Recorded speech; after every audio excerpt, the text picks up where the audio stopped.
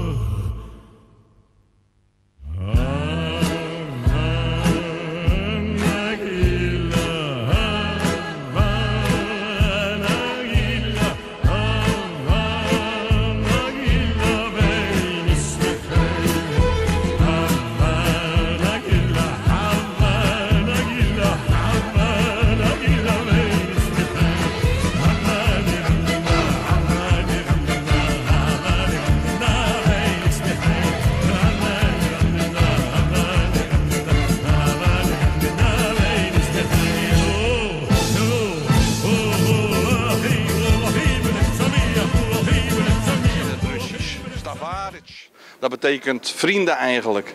Ik weet niet of het nou bolsjewisten zijn of... eh, wat zullen we nou zeggen? En dan, dan gaan we naar dit schilderij. Dan zien we Lenin, dus dat moet voor 1916 zijn. Dus dan doet hij een toespraak op het Rode Plein. Of het nou het Rode Plein is in Moskou of dergelijke. Dus dit is een heel mooi schilderij van Lenin. En dan komen we hier bij een schilderij. Dat zijn Russische soldaten. En ja, die, drink, die eh, ben aan het eten. Ze zien er allemaal nog goed uit. Dus ze hebben nog niet de winter van 44 meegemaakt. Ze lachen allemaal nog. Dus hier gaat het nog de goede kant op met de uh, Stavaris. En deze man, dat weet ik niet. Dat lijkt wel uit de film van uh, Gejaagd door de wind van Anne. Misschien heb het wel met Anne Tefka. Hier ga ik even achteraan wat dit te betekenen heb. Er is ook een toespraak.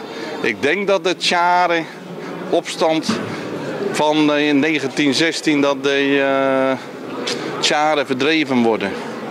Maar we gaan het even bekijken. Die voor mijn lens wil poseren, ik sta voor u klaar. Maak ik van u een foto, al is hij nog zo klein. Ik kijk u met genoegen, vindt u dat nu niet fijn? Maak ik van u een foto, dat ik u steeds kan zien. Zo'n aardig portretje, formaat kabinet. Bezorg me die pret, bezorg me die pret. Die hang ik uit vriendschap dan boven mijn bed. Maak ik van u een foto.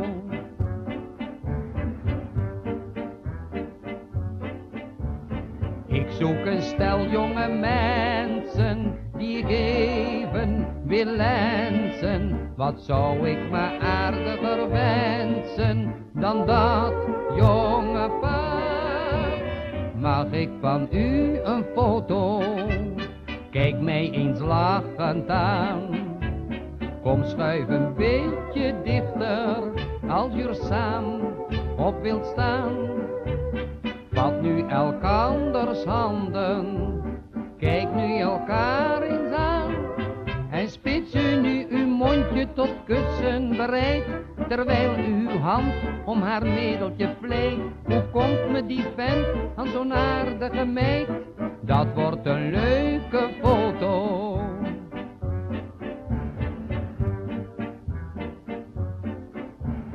Pardon mevrouw, mag ik het wagen uw aandacht te vragen? Ik zal u heus niet lang plagen, het is zo gebeurd. Mag ik van u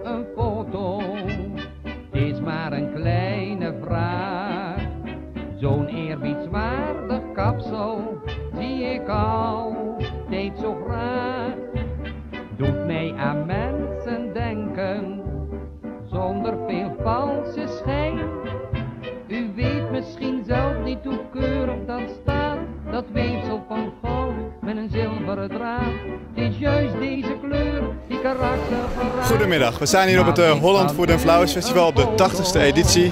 En ik sta hier samen met de programmadirecteur eh, Rianne Sanstra. Rianne, hoe eh, bevalt het dit jaar? Nieuw concept. Dit is uitgewerkt.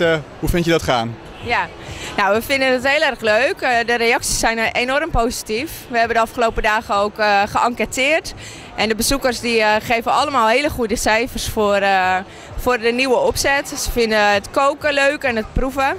Dus eh, dat valt heel erg goed in de smaak. Het zijn natuurlijk drukke dagen zo eh, eh, voor jou hier op de beurs. Heb je ook zelf tijd om eh, wat te proeven, wat te beleven? ehm, wat geprikkeld te worden zoals het nieuwe motto van Holland Food Flowers luidt? Ja, ja dat, dat is natuurlijk tussen de bedrijven door erg lastig.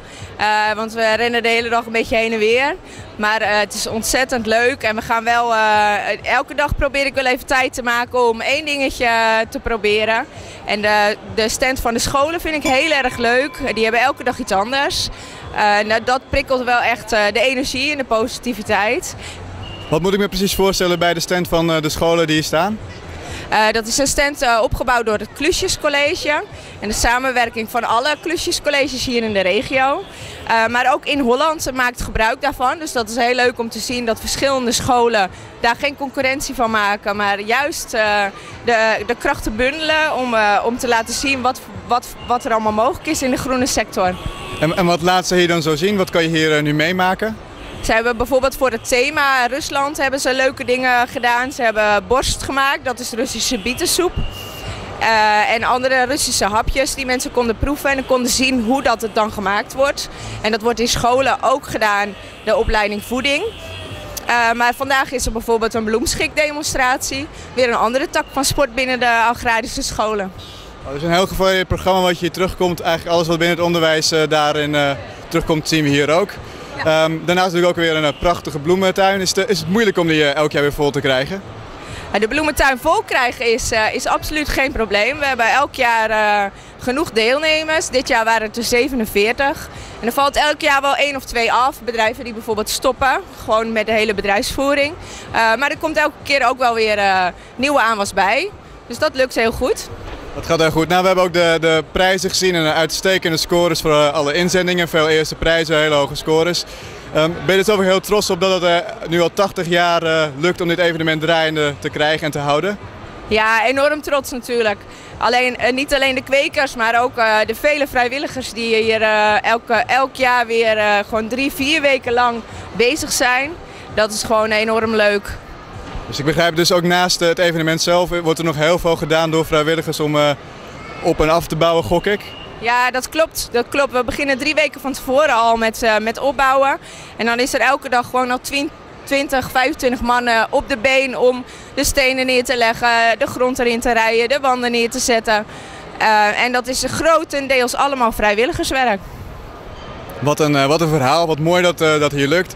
Nou, ik, eh, leuk jou even te spreken en eh, eh, fijn om te horen dat het zo goed gaat met de Holland Food Flowers al voor het 80ste jaar. Dankjewel. Graag gedaan, bedankt.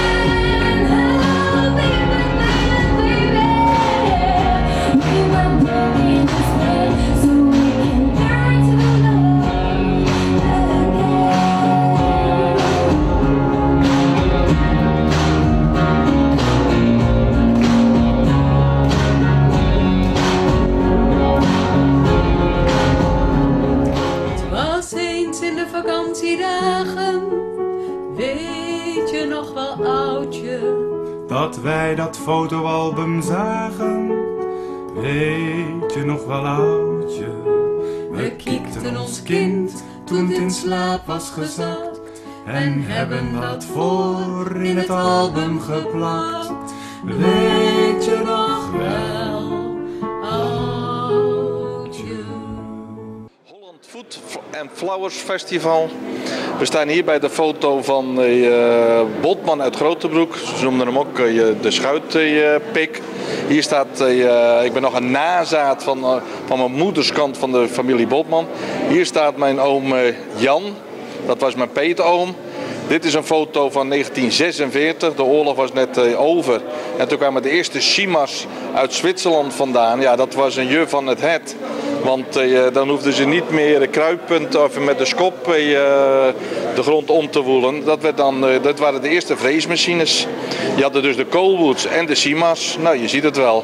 Het ziet er allemaal eh, goed uit. Er waren er een stuk of zeven. Dus er waren ook tuinders die dan eh, zo'n eh, machine eh, eh, konden kopen. En dan gingen ze later in de eh, verhuur, dan gingen ze ook bij andere tuinders eh, de grond omploegen.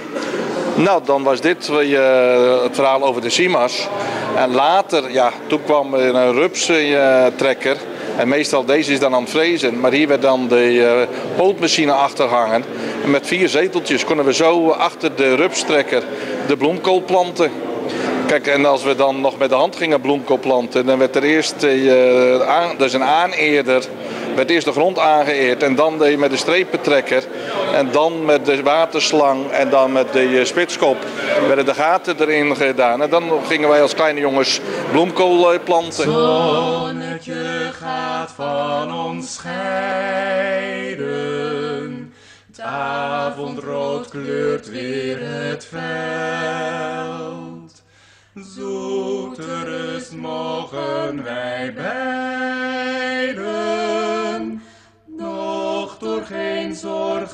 gekweld.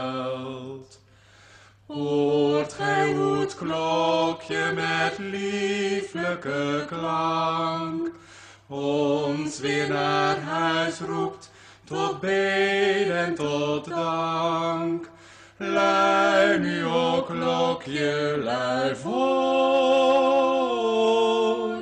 Slapen wij straks ongestoord.